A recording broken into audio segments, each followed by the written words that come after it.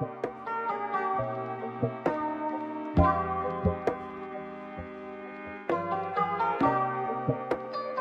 Welcome back to Realism Overhaul.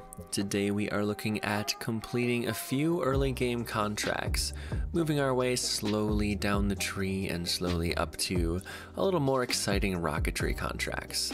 Luckily, uh, sounding rockets are pretty much going to not exist after this episode. Uh, we do have one more launch of the S2 later on, but right now we are kicking off with a KX2 flight, actually the first air launch flight. Um, and this is before we have the conic uh, cockpit upgrade. So once again, the service ceiling is around 30 kilometers and you can't really get higher than that until it's upgraded. Unfortunately, I air launched a bit too far away from the KSC and had to ditch in the water, which was honestly a little bit terrifying, but you know, we call that a success. Uh, the vehicle didn't rapidly and unexpectedly disassemble this time around, and Jebediah was safe for now. And here we move on to the S2 flight, which I had just mentioned. This is the final flight of the S2. This particular launch actually went a lot more straight up than I expected it to. And it, um, see, believe it beat some records. Yeah, altitude record of 323 kilometers. And it survived re entry and was recovered perfectly fine.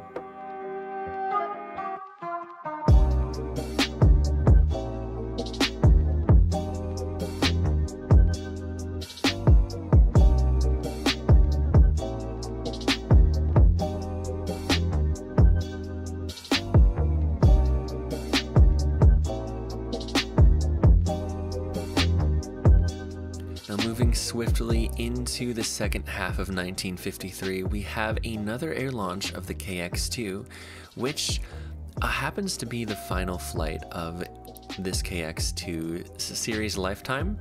Uh, Bob Kerman at the controls. You can see we've reached an altitude way too high, and this was done accidentally. Um, but I do blame myself for it. You can see here, Bob is actually completely incapacitated for quite a long time.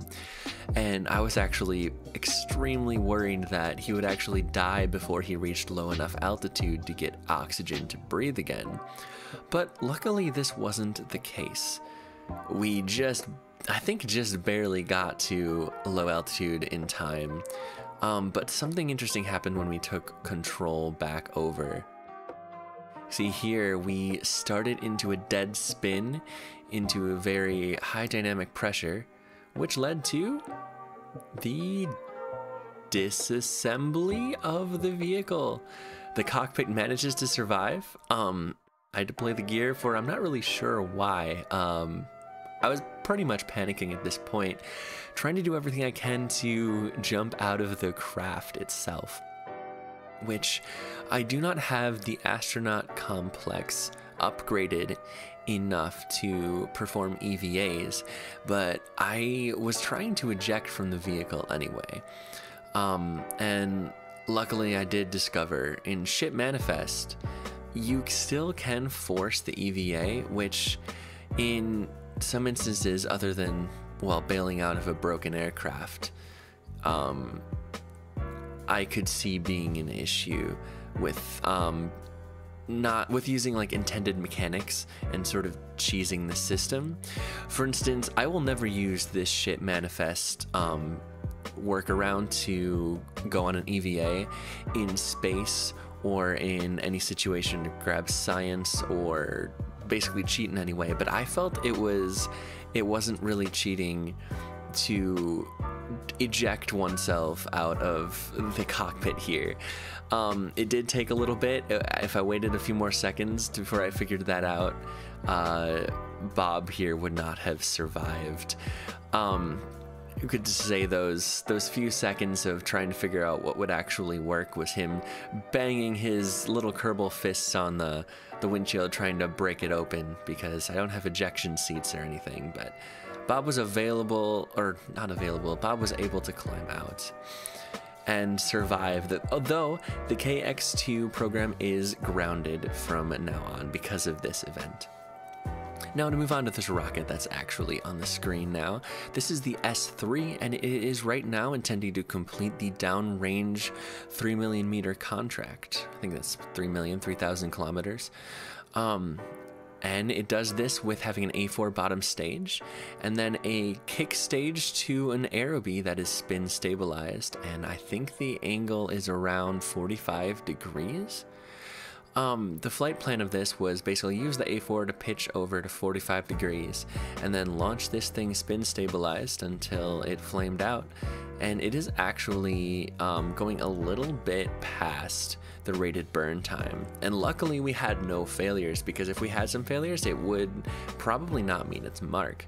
So I feel very lucky that we had no failures, and all we have left to do is glide to our downrange um, contract uh, parameter. That's the word I was looking for. You can see here the MechJeb Flight uh, Manager does show the downrange. However, also in the contracts menu up on the top right here, it will also show the downrange as well. So I just decided to look at that.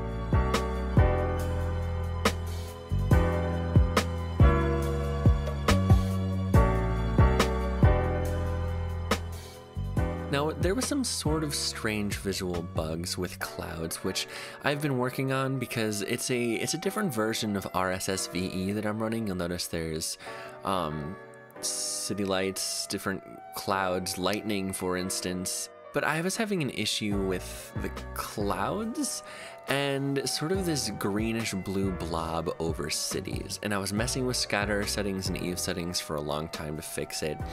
And what you see now um, is isn't going to be like this next episode. Next episode, I have the clouds uh, set up differently. Um, essentially, what I was what I've been doing is messing with cl uh, cloud color settings and a bunch of other stuff to try to get those blobs to not be noticeable because it was a bit weird seeing that as you ascend to just have a green and then blue blob just slowly disappearing over cities. Um, but I just I realized that changing the colors really changed the clouds way too much. So I, I came up with another um, set of settings for the scatter, which we'll see next episode, that also fixes the issues where the clouds are like hardly noticeable and kind of see through in the atmosphere. Um, so now in the next episode, we will have much more prevalent clouds, and because of that, the blobs over the cities are less noticeable, so both good things in my opinion. But uh, to move on to the footage you see on the screen, yes, we have once again strapped a glider to a A4 rocket, and this is just something that happens in every playthrough. I don't really know why, it's just it's way too fun. It's way too interesting to me to do this. Um, this is after we have discovered the R&D conic cockpit upgrade to up its service ceiling to around 70 or 75 kilometers. And we've also have, well, RCS ports here as well it's because the atmosphere is way too thin for our um, control surfaces to grip so we, this is the first time pilots in this series are using reaction control thrusters to maneuver a vehicle up in the upper atmosphere. And it's basically just to put the nose back facing down so we can go into this kind of high G dive um, and then level out. And well, the, this mission flew, I think, only two times. Actually, no. Um, it only flew once. This was its maiden flight and the only flight this episode. Um, and it was entirely successful, breaking a lot of crewed records and also completing the X-Plane's high, difficult contract. Where, and we glide back to the runway perfectly safe. I was also messing with the different color options from B9 Wings, as well as the Textures Unlimited Redux something or another. Um, not all the parts are supported, but a lot of them are. For instance, I really wish this cockpit was supported because I really wanted to paint it orange, but we made do with getting uh, some of the wingtips orange, which I kind of liked, but uh, we probably won't see it too often.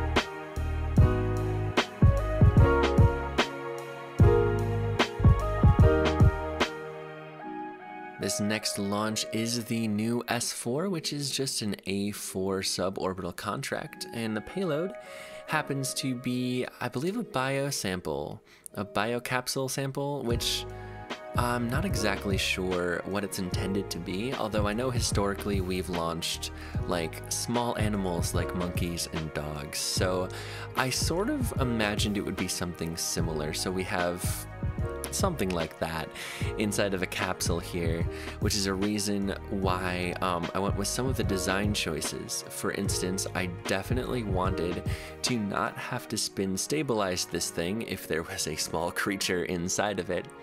Um, and so what I ended up doing, because this is only a single stage, there was a problem uh, with this design uh, initially because the center of mass happens to float really, really low towards the engine when the tank is empty, which caused the vehicle to sort of flop end after end after flameout since it was still in the atmosphere. So, what I had to do was actually put a lead ballast onto the nose of the craft, right where these uh, motors are right there, those boost back motors, uh, is a tank full of lead to keep the center of mass higher up. And this rocket pointed straight when it uh, flamed out in the atmosphere. And then this um, capsule is also designed not to flop around as well and will pretty much go straight up and straight back down, making sure to not give our small pilot, whoever that may be, um, any any dizziness or anything like that. So this mission was to go straight up and straight down and fall back into the atmosphere, hopefully uh, getting to, well, the Atlantic Ocean safely.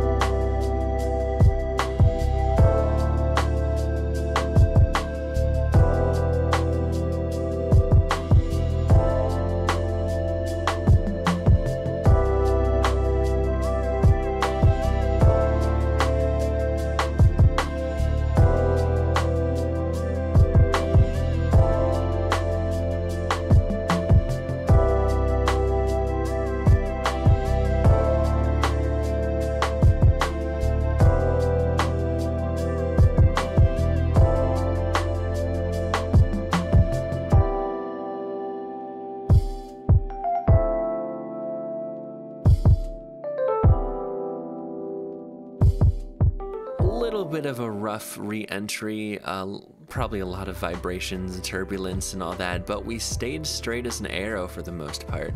Uh, the only problems being it really, really wanted to keep splashing uh, and bouncing up and down when it hit the Atlantic Ocean. But all in all, mission successful. I want to thank you guys so much for watching, and peace out.